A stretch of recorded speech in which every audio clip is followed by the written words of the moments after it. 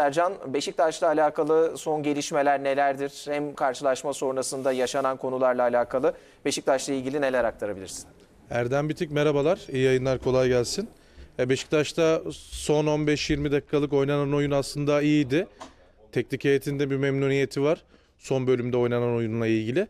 Aslında teknik heyet evet özellikle dünden bu yana çok fazla eleştirilmiş olsa da maç içerisinde bakıldığı zaman ve maç analizi yapıldığı zaman iki tane direkten dönen top verilmeyen ve Beşiktaş yönetiminin az sonra söyleyeceğimiz bu konuyla ilgili çok fazla eleştirisi var hakem performansları ile ilgili. Açıkçası hakem performanslarından ziyade bu işleyişle ilgili e, itirazları var. Bir buçuk iki penaltı denilebilir. Kaçan pozisyonlar var. Ancak Beşiktaş taraftarı memnun değil. Özellikle maç içerisinde e, çok fazla taktik değiştirilmesi ve sonuca ulaşılmaması Beşiktaş taraftarını ve Beşiktaşlıları fazlasıyla düşündüren e, sebeplerden bir tanesi.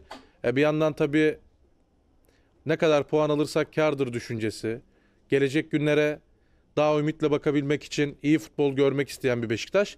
Bir taraftan da e, transfer çalışmalarını sürdüren bir Beşiktaş.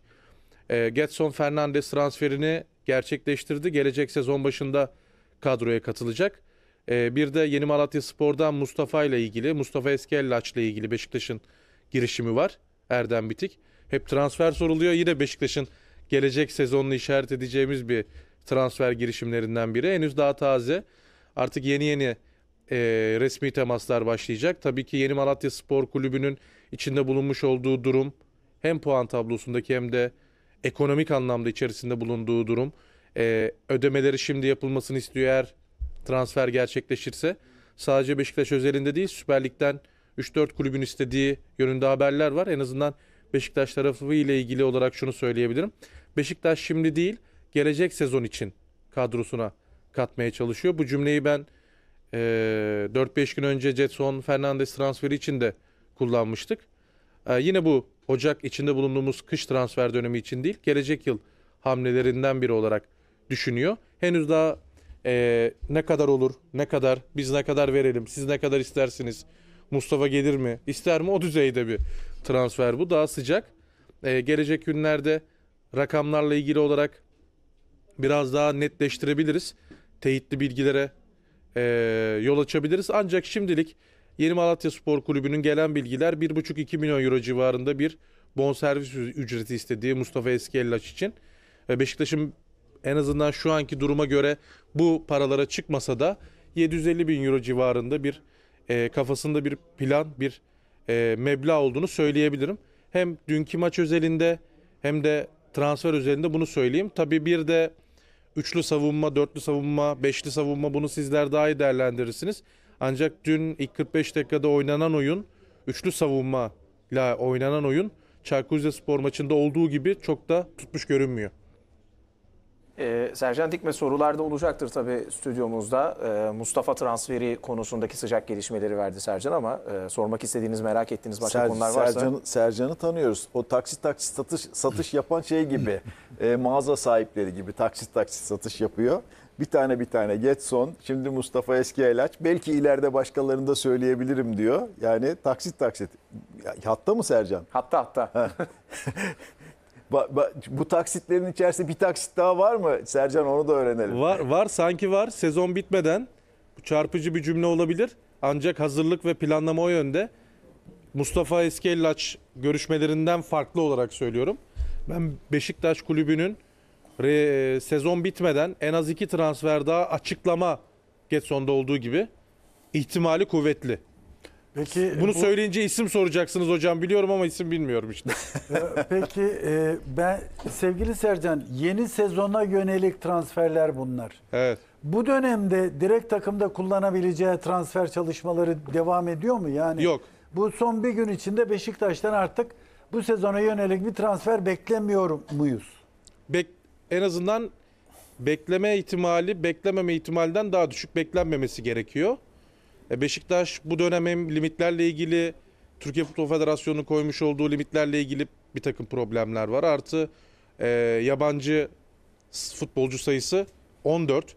Adem Laiç elden çıkmadı. Görünen o ki Ensakala ile ilgili durum biraz daha iyimserdi açıkçası hocam. Ensakala da gitmiyor gibi. Şu an öyle bir hazırlık yok. Tabii birkaç saat içerisinde veya yarın e, gece saatlerine kadar değişirse paylaşırız ama şu an şu dakika itibariyle Ensakala ve Adem'le hiç de gitmiyor. Ben Beşiktaş'ın bu dönemde transfer yapma ihtimalini yani kalan 24 saat veya işte 36 saat diliminde beklemiyorum. Değişirse paylaşırız tabii hocam.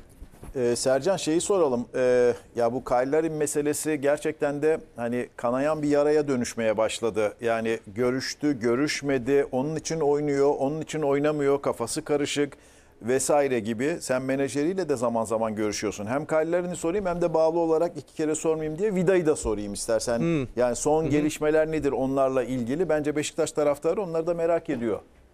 Ya Haldun abi vallahi Kaylar'ın konusu bıçak sırtık duruma geldi artık Beşiktaş'ta.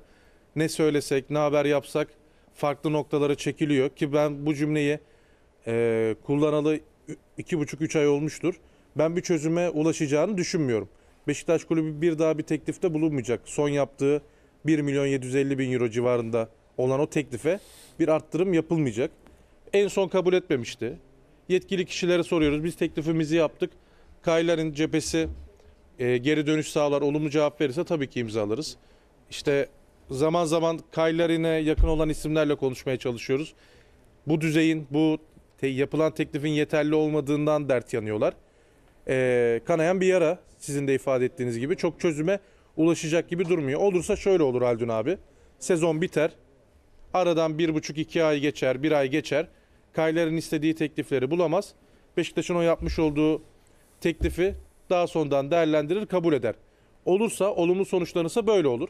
Ama dün oyuna girdi. Mesela Yeni Malatya Spor maçından çok sonra çok fazla haber e, yapılmıştı. Bizler de üzerine konuşmuştuk. Bir gözdağı mı acaba diye yorumlanmıştı. E, Yeni Malatya Spor maçında oyuna sonradan girmemesi ve hiç ısınmaya çıkmaması dün çıktı. Bundan sonraki sürecini takip ediyoruz. Eğer iki taraftan biri adım atarsa Haldun abi haberleştireceğiz gibi duruyor ama her iki taraftan da adım yok.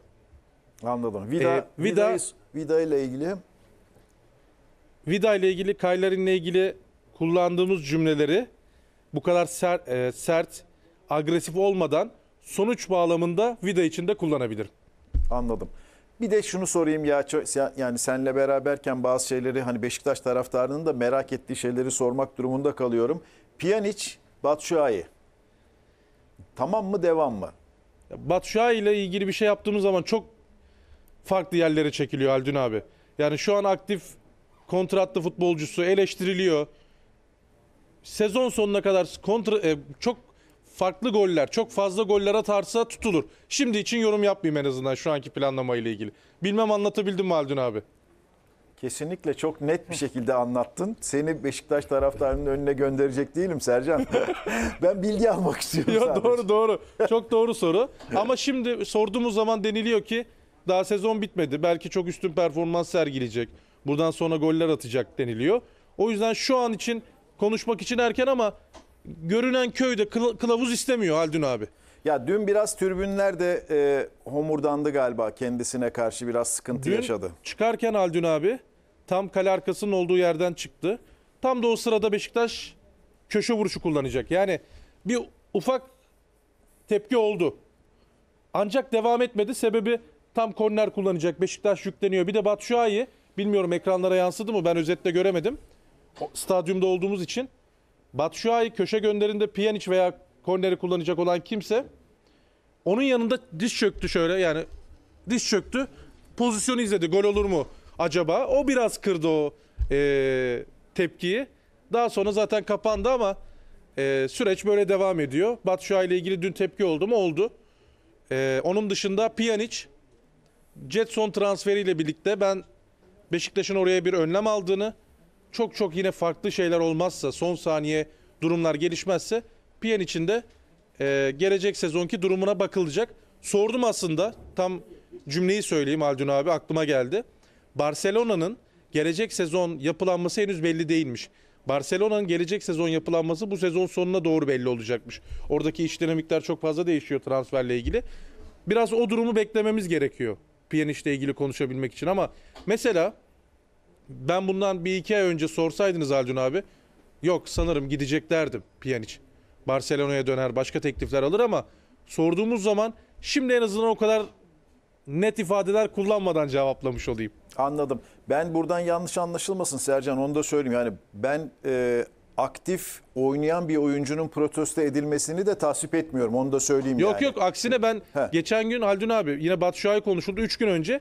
Batshuayi'nin gelecek sezon yapılanması şu an itibariyle düşünülmüyor yapılanmada dedim. Abi çok farklı yerlere çekiyorlar. Evet zaten haber değeri olan bir durum. Tartışılan, eleştirilen ve Beşiktaş'ın forvetlerinin daha fazla gol atması aşikar. Yoksa sizin sorduğunuz soru zaten konuşulması gereken, üzerinde durulması gereken ve haberleştirilmesi gereken bir durum. Yoksa zaten tepki oldu. Beşiktaş taraftarı Mişi Batshuayi bu sezon hayır tepki göstermedi. Birden fazla bile desek yanlış olur, yalan söylemiş oluruz. Estağfurullah. Peki çok teşekkür Sercan ederim. Dikme çok teşekkürler.